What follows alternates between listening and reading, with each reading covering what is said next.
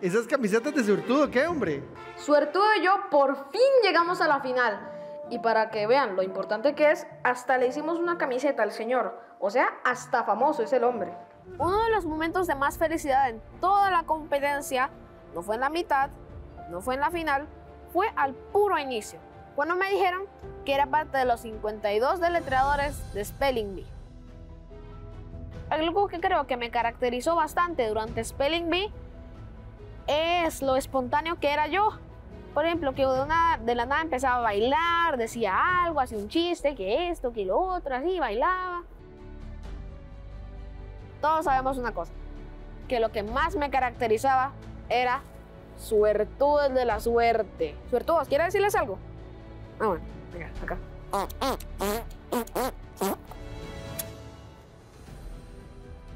Si pudiera decirle algo a mi yo de hace 5 o 4 años, le diría que nunca deje de soñar. Si yo le dijera a mi yo de hace 4 o 5 años por ahí que estaría en la final de un programa de Teletica, él definitivamente no me creería. Y acá estamos, en la final de Spelling Bee. Spelling Bee, Spelling Bee. Qué largo viaje ha sido.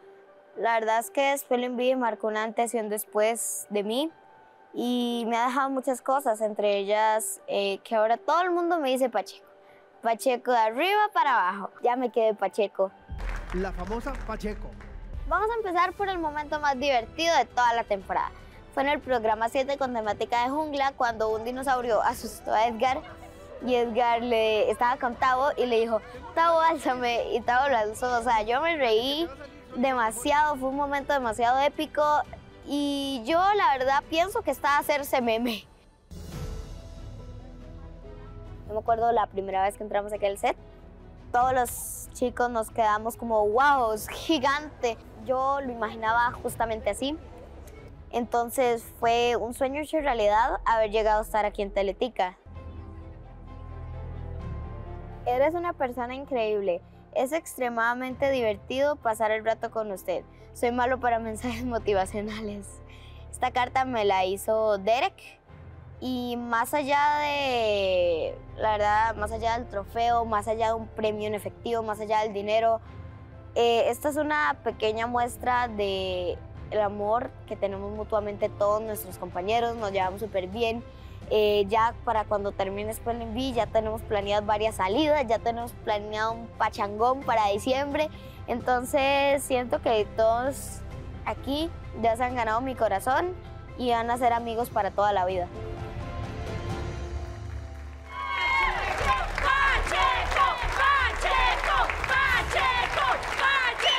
Pues la verdad es que el hexágono me cae mal, pero bueno, hable con todo, es la última vez que lo voy a ver, la verdad estoy feliz de eso. Para mí, estar en el Spelling Bee fue mucho. Yo pensé que nada más iba a llegar al segundo programa. Miren en dónde estoy. El aprendizaje que yo me llevo y la experiencia que yo me llevo es tener amigos, estar en la tele y a ser humano, a vivir no como los grandes que ya nos interesan en otras cosas, no en los demás, sino en sí mismos, sino aprender a importar todo lo que les pasa a las demás personas. Lo que más voy a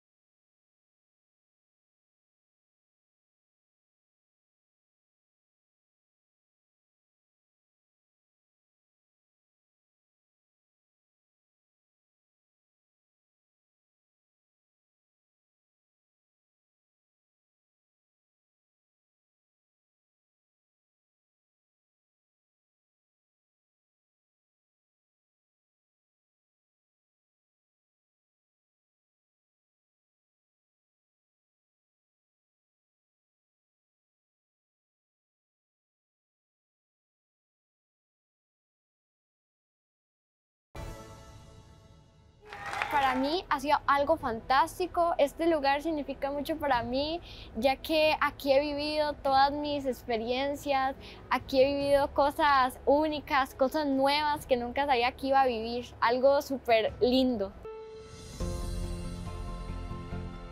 cosas que llenaría en un vasito de que nunca más voy a vivir sería mis los amigos, la comida gratis, este, el set, eh, Teletica, aunque sí lo dar en tele, y muchas cosas más, la pronunciadora, Edgar, Tavo, todas estas cosas que llenan mi vasito.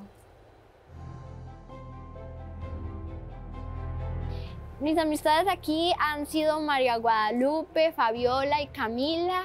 He aprendido mucho de ellas, como que la amistad siempre puede durar, puede perdurar para siempre. Ellas son muy alegres, me han traído esa alegría también. Este, aunque ya no nos vayamos a ver, nuestra amistad va a perdurar, nos vamos a ver en mensajitos o WhatsApp o también podemos planear cosas para vernos eh, así en vivo y en todo color, pero nunca las voy a olvidar. Hoy, porque es mi despedida de Spelling Bee, les quiero agradecer a mis familia, a mis amigos y a todos los que me han apoyado en este transcurso, que gracias por apoyarme en esta experiencia, los quiero mucho y siempre los voy a recordar y siempre los, los, los voy a querer. Para mí en Spelling Bee, pues yo antes era un niño más tímido o, bueno, ¿cómo les digo?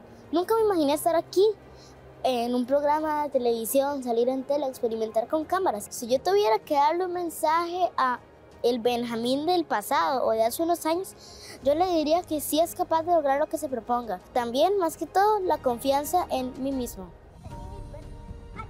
Creo que lo que más me ha caracterizado este programa, bueno, ustedes ya lo saben, es mi boina, por supuesto, porque a lo largo de estas 12 semanas Siempre la llevo. Y hasta en mi casa la usan. Eso ya es moda. Hoy tristemente no traje mi boina. Bueno, pues no todo ha sido felicidad aquí en la Spelling Bee. Uno de los momentos en que yo más lloré aquí fue en el primer programa y en el séptimo programa.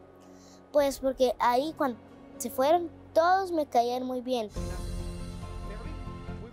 Lo que yo le diría a los niños que dudan de sí mismos o que desearían estar aquí en Spelling Bee es que nunca duden de ustedes y nunca digan que nada es imposible. Siempre crean en ustedes mismos. Porque así lo hice yo. Yo llegué como una persona normal, audicioné y vean a dónde estoy. El set de Spelling Bee para mí significa como una segunda casa y demasiado, demasiado lindo porque en esta segunda casa no solamente soy yo, sino que estoy compartiendo con más amigos. Es como gran parte de mi corazón, de las cosas que yo más amo. Va a ser algo como que me dejó marcada por toda la vida. Estar en Teletica, la verdad es que es un sueño cumplido porque yo desde pequeña siempre he querido salir en tele y en serio que se siente demasiado chiva porque wow, yo me preparo y digo, estoy preparándome para ir a grabar en Teletica. Y eso es algo que jamás me imaginé, ni yo de pequeña jamás lo hubiese imaginado en serio. Pero ahora yo le puedo decir que sí, que lo logré. Cuando yo ya me vaya, yo voy a dejar aquí como básicamente todo lo que yo interactué con mis amigos. Voy a dejar el hexágono por fin como el juego que más... Mm, voy a dejar de ver a Edgar y probablemente a sus chistes, pero me voy de aquí bastante contenta. A todos los niños que no se animaron a participar, ya sea por nervios o por cualquier otra razón, créanme que es una experiencia inolvidable. Nunca se van a olvidar de todos los recuerdos que tuvieron aquí y jamás me voy a arrepentir de haberlo hecho. Jamás me voy a arrepentir de haber audicionado para Spelling Bee haciendo un viaje al pasado y estoy recordando el momento en que yo estaba haciendo la audición, pero yo ni siquiera tenía la mínima esperanza de que yo iba a pasar hasta el programa. Con ustedes, María Guadalupe. El momento más mágico de estas 12 semanas de estar en Spelling Bee fue cuando yo por fin pude presentarme ante digamos que miles de personas tocando el violín. Entre todos los paseos que Spelling Bee hizo, el que siempre, pero siempre en mi vida voy a recordar fue cuando fuimos a Miralles, porque les voy a contar algo. Yo nunca había ido a Guanacaste y cuando yo iba en el bus viendo Guanacaste, la verdad es que me pareció un lugar muy lindo, me gustó todo el paisaje y la verdad es que lo disfruté mucho. Para María Guadalupe de Cristina, sepas que eres una gran campeona, que Dios te ama y que hoy todo va a estar bien pase lo que pase. La vista del programa ha sido uno de los mayores recursos y recuerdos que he dado del programa. Y por eso yo quiero decirles a todos los niños que he conocido a lo largo de estas 12 semanas, ustedes son muy valiosos para mí, ustedes me han hecho sentir muy querida durante todo este programa, porque la verdad es que sí han sido mis verdaderos amigos y que siempre van a contar con mi amistad.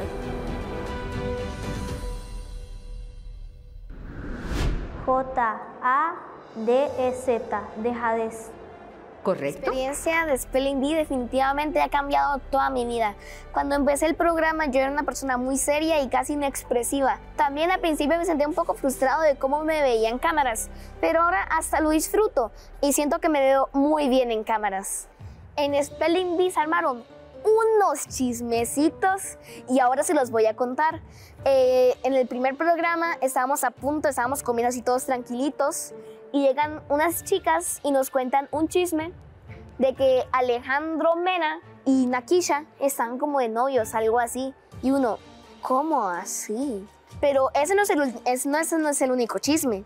O sea, uno llega y encuentra otro chisme de que estábamos en el programa 6 y llega Camila y le dice a Nicola, oye Nicola, ¿qué le vas a regalar a tu novia Fabiola?